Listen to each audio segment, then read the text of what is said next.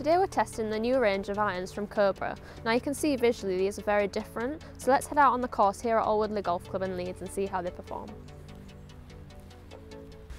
So Hannah, we're on the course with the, the new irons from Cobra, both visually very different. We're going to see how they perform now, so why don't you take it away with the first one? Yes, I've got the King Speedzone here and this is kind of the more game improvement iron in the range, so we can see it's got quite a unique head shape with a lot of weight kind of put into the toe and the heel. Yep. And also, kind of the first thing that stands out is this new carbon fibre top line. So we've got this kind of pattern top line that really stands out. And what's Um, that for? So that's just designed to kind of save some weight, so it can be moved lower down and give you a bit more um, centre of gravity lower. So it's just going to give you a bit more launch and a bit extra forgiveness.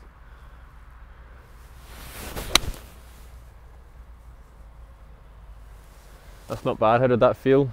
Yeah, so we can see it launched nice and high, and it just Yeah, felt really solid, kind of through impact. But I think we're probably going to feel quite a bit of a difference between the two. So. Yeah, so I'll give you the, the one that's more like a muscle back sort of look to it. Yeah, so this is designed to kind of be more of the player's iron in the range, and we can see that in kind of like the muscle back shape. Yeah. So this is the Forged Tec, and we've seen kind of Bryson put this in play. It's also available in the one length that he likes to use. How and does that visually, look? kind of behind the ball, it just sits a lot nicer. For me, visually, I like something that's a bit slimmer. Yeah. Um, so the shape suits my eye more.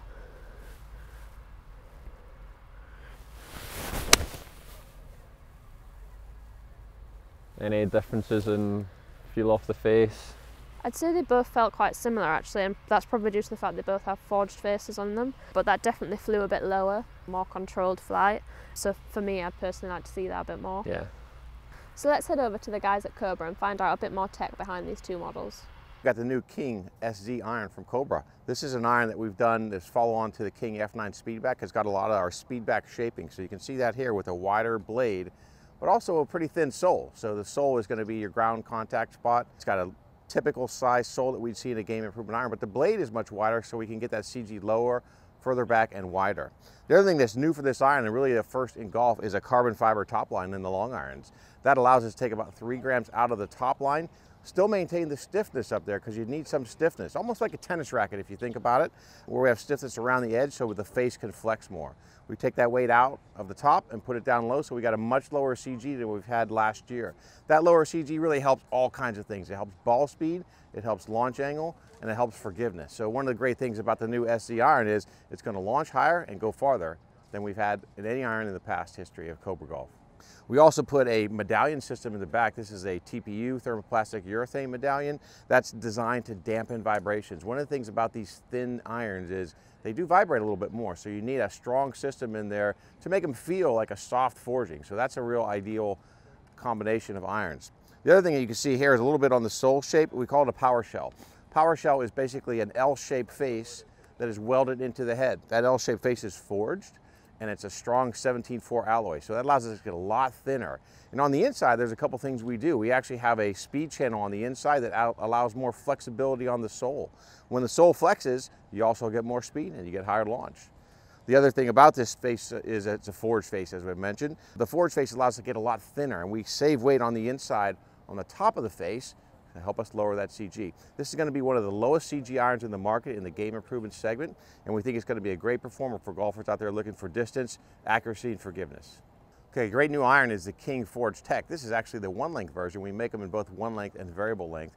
This is an iron that's also a forged iron with a forged face. We talk about that combination being the best with our power shell constructions to give us maximum speed and minimum weight. It's always designing the flexibility of these structures to make them faster so that golfers in the player's distance category can get a little bit more distance. Player's distance category is really about the shape of the iron, the size of the iron. It's really for those players, I would say from a single digit up to maybe a 13, 14 handicap who are looking for that playability but a little bit more distance. This L-shaped, we call it the, the power shell, that actually gives us the ability, and it's kind of an L-shaped forging that we put in the face that allows us to lower the weight and give more flexibility to the design. If we get more flexibility on the bottom of the sole and through the bottom of the face, we could launch higher and have that playable trajectory that those better players are looking for, but also provides a little bit more distance. So we know this category is pretty hot. The other thing you see here clearly is the shape.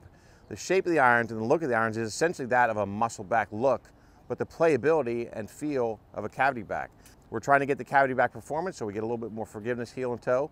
The other thing we do with this iron is you can see this toe port, we actually inject a foam material that expands with heat.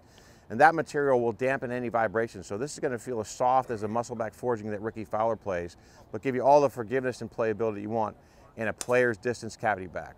The new King Forged Tec, both in variable and one length. So we've got the new irons from Cobra back in the studio. Obviously they're kind of very aesthetically different looking. So Hannah, what's what's gone into the design of these and you know the performance differences that, that maybe come with that? Yeah, so obviously this one's designed to be kind of your more improvement game improvement club, but this was designed to be more your players mm-hmm. iron. So yeah. there's different tech to relate to who's going to be hitting these.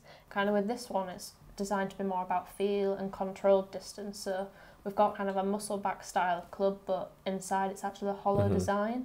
And then we've used foam and that's infused inside that to give you that extra feel. And I think definitely out on the course you could feel the difference. I don't know what you thought. Yeah, no, I'd agree. Just going back to design, I mean, you can really see it's almost like quite an aggressive, mm-hmm.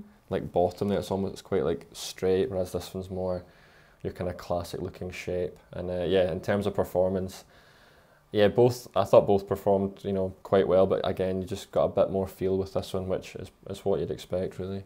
Yeah, so with both, actually, I was getting quite a bit more distance than my current clubs. I'd say they were going about one club further, so kind of my 8 iron was going about 145 with that one, mm-hmm. kind of 148 with this, rather than say 135. So these were going slightly further than that, but I was also getting extra distance out of these. But definitely in terms of strike and feel of shot, these were would be my preferred option. And I'd also say like the distance was more controlled, so kind of your front to back dispersion was better kind of with this one, if you're really middle one, it's it's going to go mm-hmm. a bit further than kind of your off centre strikes. Whereas there's this one, the distance was more consistent across the shots. Yeah, so maybe if you're if you're out there and you're struggling mm-hmm. for distance a wee bit, you'd you'd maybe go into the the Speedzone model. But if you're putting a premium on accuracy and controlling your distance and you know trying to hit your shots pin high, you'd mm-hmm. you'd go with this this model. I think you're still going to get a bit of extra distance out of these both of them have some shared technologies that are helping you with that. So they have this kind of PowerShell technology, and what that is is the face is forged, so it's just giving you a larger sweet spot, so kind of giving you a bit more launch and a mm-hmm. bit more ball speed. So that's why we're seeing a bit more distance across both. But obviously, I think the key thing is kind of the forgiveness. Um, on your off centre strikes, you're going to get a lot more help from this just because the centre of gravity is so low. Um, and a lot of that is to do with this weighting they've moved, but they've also got a carbon fibre top line. Yeah, I noticed that. So that's the first time they've had this, and that just allows them to save extra grams that can be pulled down to the bottom of the club. So that's helping you with your launch and your forgiveness again. And I think that's the first time that Cobra have used this on a club, and visually you can see like it stands out. I think that's kind of nice when technologies you can see them and see yeah. what it is. But obviously it does look a bit different of the ball, so that's a preference thing to if people are going to like that look. Yeah.